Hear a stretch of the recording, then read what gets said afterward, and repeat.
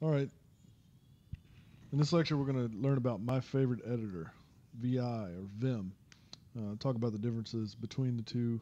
Uh, it's very little these days, but uh, it's not only my favorite editor, but it's also uh, sort of the de facto standard of the default editor on a Unix machine. So every Linux, Mac machine will have uh, an installation of Vim. And really, Vim is the only editor in which you can say this about that. I mean, so at the end, I'll, I'll mention a few other popular modern editors. Um, but those will not be installed by default on most Unix systems. So you either have to install them yourself, which is usually not a problem if you have all the administrative privileges for the machine. Um, but but obviously, if it's a remote machine where you're not the administrator, then that could cause some you know it could be some trouble installing it. Uh, and particularly the the really modern graphical user interface uh, um, uh, editors, you're going to have trouble when you log into machines remotely that don't have graphical user interfaces on them at all, like uh, a typical supercomputer where you're just going to uh, interface with it through um, through a console or terminal window. So uh, Vi um, was the original kind of the standard Unix editor. It was written originally by Bill Joy, and you might have heard of him uh, because he went on to start Sun Microsystems, which was later uh, bought out by Oracle. So he bought, uh, he wrote Vim when he was a student at Berkeley, working on BSD Unix. Um, and like I mentioned, it's it's basically installed already on every Unix machine. And so, uh, but in fact, what's really installed is Vim. Uh, so Vim is Vi improved. So it just has some uh, little bit, some uh, more features, more usability, uh, plug-in ability where you can add additional features to it and customizations. And so this was written by a guy named Bram uh, Moolenaar, and um, again, standard editor on Linux. Today, we'll often say Vi or Vim interchangeably. So uh, almost always we're talking about Vim when we talk about Vi or VI. And so to edit a file in Vim, you just type VI uh, on the command line and the file name. Um, so you can start a new uh, a new file uh, this way. So you can just say vi new file uh, dot text, and it will open up a new file. Uh, I'll go ahead and close there before we edit anything. So the one major difference between Vim and other editors is that you don't typically just open up a file and, and start typing text. Uh, there's several different modes. One of those modes being insert mode is the mode where you would actually insert text. Uh, but when you're actually editing the file, uh, specifically when you're moving around, when you're uh, looking for something to edit, uh, when you're searching for keywords to replace them, when you're searching for keywords to replace them, uh, you'll do this in something called normal mode. And in normal mode, you can't actually change the text of the file um, directly. Uh, it's, it's a little bit awkward. It takes some getting used to, but once you master it, uh, it it's amazing. Um, and then there's also uh, EX mode or last line mode, and this is where you, you would save the file or you can even run shell scripts and other things from within in these modes. And so let's uh, just look at a couple of commands. So um, in insert mode, you would uh, you can you can um, these are all the commands that would take you from normal mode to insert mode. So the easiest one, if we go back to our uh, new file, uh, if we want to just ins, you know, right initially we're in normal mode. If we want to insert, uh, we would hit I. Uh, you can see it changes uh, down here. It says insert, and now we can actually type some text. Uh, and then when we want to go back into normal mode, we would hit escape, okay? So then we can move around a little bit and entering um, normal mode, or going from normal mode back into uh, insert mode in some different ways is, for example, we could hit capital A, which would automatically move us to the end of the line where we could uh, type some more text. Um, we could actually in, go from normal mode to insert mode by opening a new line on the next line by typing O. So now uh, we are on the next line. we could uh, be on this line and actually open a new line above the one we're on by typing capital O. So now we've entered insert mode uh, while it created a new line above the one where our cursor was on.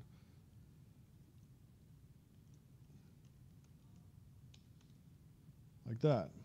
So the normal sort of um, operation in Vim is to enter insert mode, type a few text, and immediately go back into normal mode for editing. And then this is very weird uh, at, at first, but you can um, you can really be productive when you do this. So uh, going back again, there's some commands again.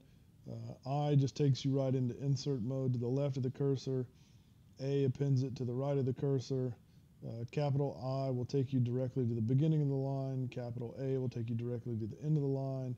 Lowercase o opens below. Uppercase O uh, opens above. Um, replace would replace a single character under this under the cursor. Um, capital R replaces all things to the right of the cursor, and then S uh, replaces a single character under the cursor and then stays at in insert mode, and likewise capital S replaces uh, under the cursor and all and then basically overwrites everything from that character to the end of the line. Uh, again, these are here for reference. Uh, eventually, you'll remember these things, and a lot of time it's intuitive. I for insert, A for append, other things like that. So in normal mode, uh, and, and you know, part of the reason that you often want to go between um, insert in normal mode so often is because it's much faster to move around uh, the screen in normal mode. And so uh, you'll notice that just to move the cursor around, you actually use um, H, L, K, and J. So all the hands, all the keys on the home row in your right hand. And one, again, this is a little awkward at first, but eventually uh, you'll get really used to this. So you move around the screen with these commands. Uh, likewise, you can, you know, if, if you're on this line and you want to move 4 to the left, you just append a 4 and, and then hit L. And it'll immediately take your cursor 4 to the left. Again, 5L will take you 5 to the left. Um, 4J, sorry, 4H would take you um, forward to the right. And you'll find that over time, if you really work on this, this becomes a, a muscle memory thing. Uh, and it's as natural as, as typing or uh, keyboarding where you're not actually looking at the keys. Uh, you can just move around the screen rather quickly uh, this way. So um, those are, you know, some relative movement operations. There's actually some word navigation. So if you if you type B, that takes you back to the beginning of a word. 4B would take you back four words uh, to the beginning. E takes you to the end of the word. W moves you to the beginning of a word again, so you can move around like this, uh, hitting B, um, hitting uh, 3E will take you to there. Again, 3E will take you there. And so um, you can move around one word at a time.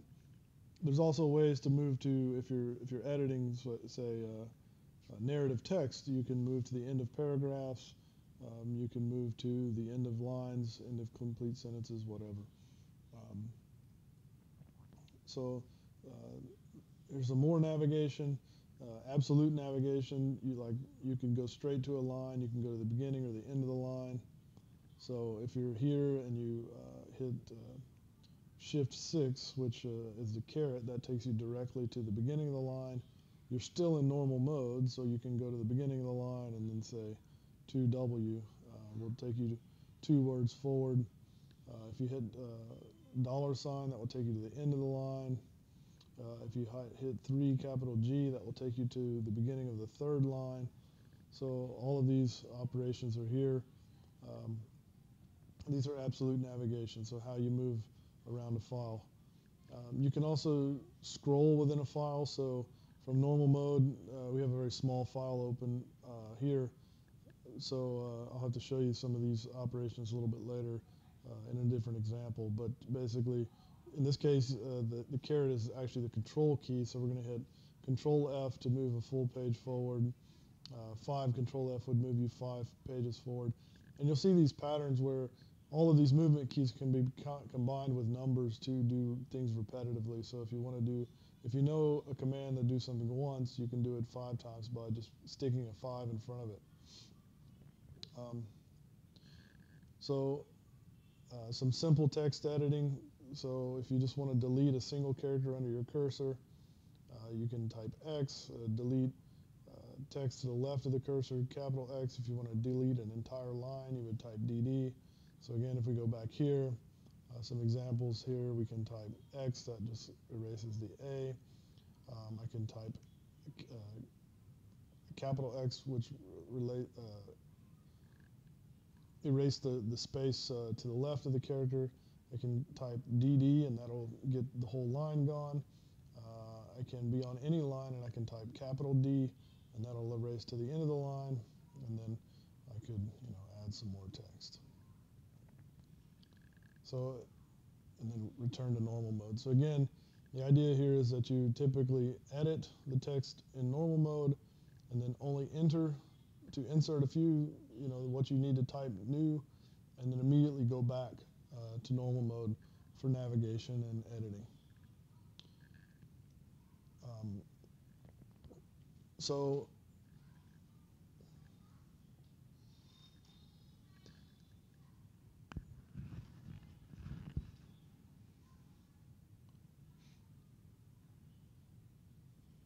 so you can move text. You can uh, anything that you delete, you can move it. If you type a lowercase p, that'll put it to the right of the cursor, and uppercase p to the left of the cursor.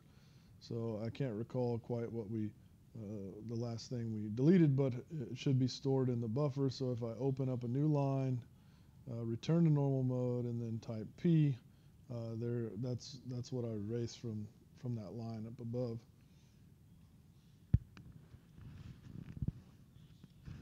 So the thing that you have to memorize are the following operations, D for delete, Y for yank, and C for change. And what you can do with these is then combine these with um, other uh, movement operations. So for example, if you want to delete three words, then you, you simply just have to say 3DW, and that'll delete three words. So for example, if I move to the beginning of the line, or perhaps I should go to this line, and I just say 3DW, uh, you see it deleted the first three words, right? Then I'll return. Uh, so again, uh, that's just, uh, again, saying what I was just saying. So uh, if you want to delete five lines, you could just say 5DD or 5, uh, yeah, 5DD would delete next five lines. Um, and there's some other examples, but, but the idea is basically if you memorize these operations and combine them with movement operations, then you can uh, efficiently edit some text. So let's go to an example um, I, I kind of have prepared here. Here's two little pieces of C code. The first one uh, over on the left has some errors in it. Uh, the first one on the right is what we want to edit the file to be. Uh, so again, uh, we're missing some braces here. Uh, the end should be void. Uh, the, the, there's some other problems in here. These should be double quoted. Uh, this should be slightly different. we're missing a semicolon and some other text here. And so let's go look at how we would edit this quickly in Vim. Now I'll go slow and explain what I'm doing. Uh, but the idea is to basically have the minimal amount of text movements uh, that it takes to, to edit this file. So I'll go ahead and quit uh, file we, we've been working on and open, uh, sorry, open our C code there, file.c. Again, so uh, the first thing that we'd like to do is add the brackets to uh, to surround uh, stdio.h, the header file there. So uh, to move our cursor to the beginning, we'll just type W twice. Again, you could type 2W there. Uh, we'll enter insert mode, add the bracket, back into normal mode with exit, capital A to move us directly to the end of the line and be in insert mode, and type the other uh, uh, bracket, uh, bracket there, and then back into normal mode. Okay, so then I want to uh, move my cursor to the to the second line. I mean, in this case, it's actually the third line, so one way I could just say 3G. That will instantly move my cursor to the end. A um, couple of things I could do here. I could write CW to change the word, which basically brings me into insert mode um, instantly there. Um, I'll go ahead and undo that with a, uh, a U and give you another way to do it. You could simply just type DWI, uh, and then I'm in insert mode, and I can type void. So this is sort of one extra keystroke there, but you know the idea is just to do things as efficiently as you can with what you know. Um, so again, I'm going to move down a line. Uh, this time I'm going to move my cursor directly to the tick mark by typing F tick. That's going to search along a line for the first instance of the tick mark. I'm then going to replace it uh, by typing R double quotes. Then I can again, a couple of things I could do here. I could go, uh, say, three words forward to take me there. Um, see, I don't remember the exact what I'm trying to do here. I'm, I'm trying to change that to uh, percent %d. Okay, so go back. Uh, I can uh, type 2x to delete those two, uh, type A to move my cursor after, followed by slash n, uh, return to um, uh, normal mode, move my cursor one over with the L, and then replace that with a, a double quote, and then return to normal mode, capital A, move to the end of the line, semicolon, return to normal mode, move down a line, type I1, um, add the text there, return to normal mode, open a new line below, and close the brace. And there we've edited the file uh, appropriately. And uh, here's what the, the correct file would look like, and I believe they're, they're the same. Uh, perhaps I'm I'm missing a space uh, here. I don't know how important that would be, but if I wanted to, I could go directly to 4G. That will take me to the fourth line. Then I can uh, search forward uh, for the second instance of the of the uh, quote. So I can type 2F quote. Uh, that will take me directly to the quote. Type I to enter insert mode and, and, and space to have a space there. And then again, I'll just save this thing. So um, that was an example of editing a file. Um, you know, copy buffers. We th this is we already showed a little bit example of, about this, but this is where we store things that we yank or copy. Uh, you know, Y is the command for copy, so uh, we yank uh, and we can use this to copy and paste in between files. Um, we can store things in a particular buffer if we want. Um, so in this case, if we use this syntax where we have uh, the quote uh, followed by AYY, what that would do, you know, YY is going to yank the entire line and store it in the buffer A. And so then later, if we want to paste that, then we just uh, use this command down here, uh, uh, AP. And so again, an example of that, uh, I have another file here. So if we want to say um, yank this line and store it in the buffer B, we would um, type uh, quote BYY, and then if we wanted to um, paste that on a new line, we would type quote BP, and then uh, there it, it, pasted that line. Uh, so again, you can undo that with uh, U. Other things you might want to do, uh,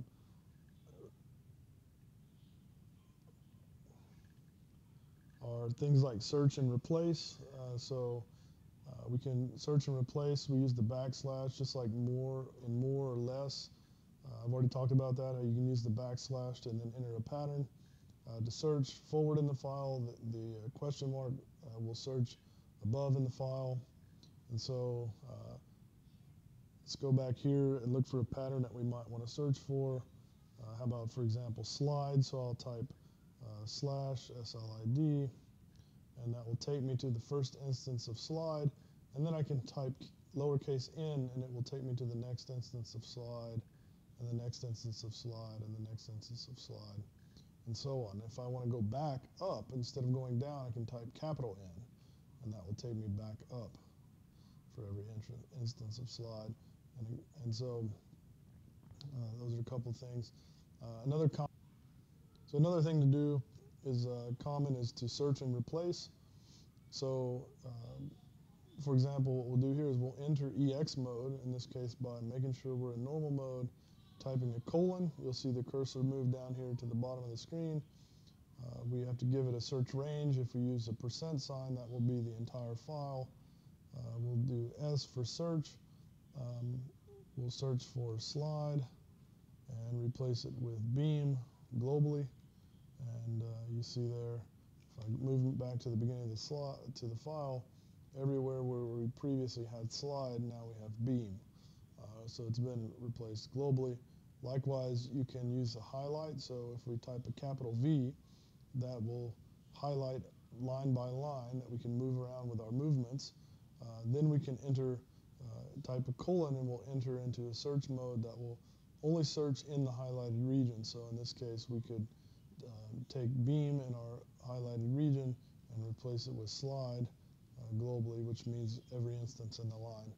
And then, or, at least for those two lines, we're back to the way we were before. Uh, so there's more information here about, about those operations. Uh, and again, I just discussed the visual selection. Um, we've already used uh, the U, the lowercase u, uh, undoes the last command, and you can do this multiple, you know, you can undo multiple commands by repetitively typing U. Um, uh, capital U will, play, will make, uh, reverse every change that you've done on a particular line. Uh, a period repeats the, the last line, and then you can, you can create shortcuts uh, or abbreviations. So, for example, if there's certain words that you would type all the time, um, like uh, perhaps you'd want to uh, you'd want to uh, you'd want to enter uh, abbreviation that is JTF for John T. Foster. Um, like that, then you should be able to type JTF, and then when you hit space after that, it'll automatically expand if you type space or enter, it'll automatically expand that. So um, you could you could do this for many commands that you use uh, often. So returning here, um, you know, again, the EX mode commands, you enter EX mode by typing colon, and W means write. Um, the most common one would be to uh, type colon WQ, which means write and quit, um, uh, you know, exit Vim.